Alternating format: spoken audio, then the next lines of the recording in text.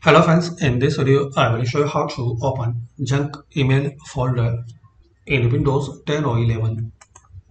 So firstly click on start, type here mail, open mail.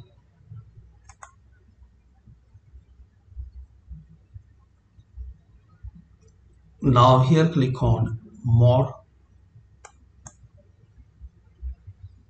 and here you will see folders find out junk this one. So right click on junk and click on add to favorites.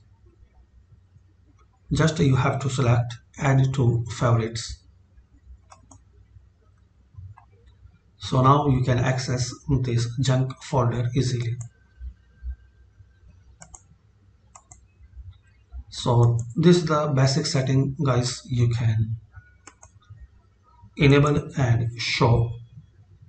Junk folder in windows 10 or 11 mail application. Thanks for watching